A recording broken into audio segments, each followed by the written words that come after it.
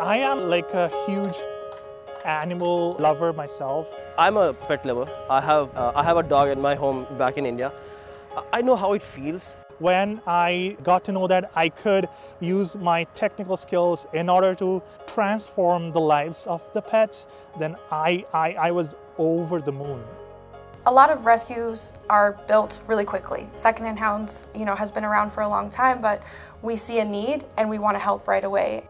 Prior to the St. Thomas project, we didn't have a super automated way of looking at this data. We weren't doing as much data analytics as we probably could have been.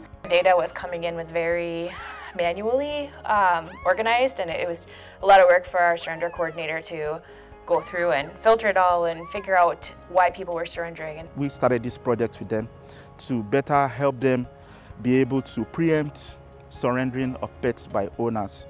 If they can analyze their data, they'll find out factors that makes uh, people want to surrender pets, which they can now try to mitigate and reduce surrender applications. Most people who come to us would love another option besides surrender, that it's a really difficult decision that they've come to. And if given an opportunity, they would take a resource and, and go a different route and keep their pet.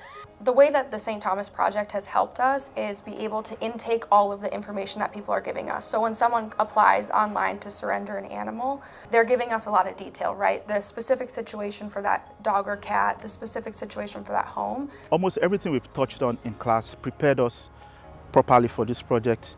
And we used a lot of cloud technologies, we use a lot of programming languages. We're always looking for projects in the real world where students can apply whatever they have learned in the class and uh, go and solve a real world problem.